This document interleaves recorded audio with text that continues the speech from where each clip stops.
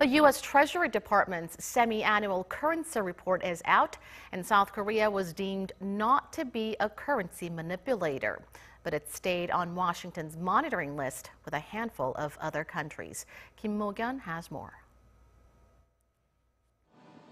In its report released on Tuesday, the U.S. Treasury said no major trading partner is manipulating its currency to gain an advantage in trade this year. The Treasury said it did not alter its three major thresholds for identifying currency manipulation put in place last year by the Obama administration. The three being a bilateral trade surplus with the United States of $20 billion or more, a global current account surplus of at least 3% of GDP, and persistent foreign exchange purchases equal to 2% of GDP over 12 months. If a country meets all three of these criteria, it would be labeled a manipulating country, but if it only meets two of these conditions, they go on the monitoring list. South Korea was on the U.S. Treasury's monitoring list in April, mostly for posting a significant bilateral trade surplus with the United States and other factors.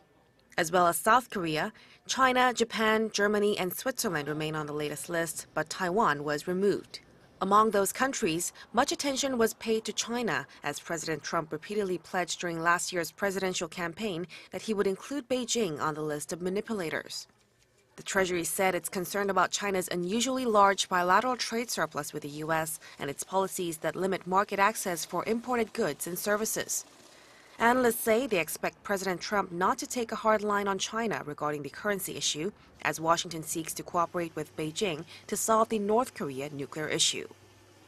Kim Mok-yeon, Arirang News.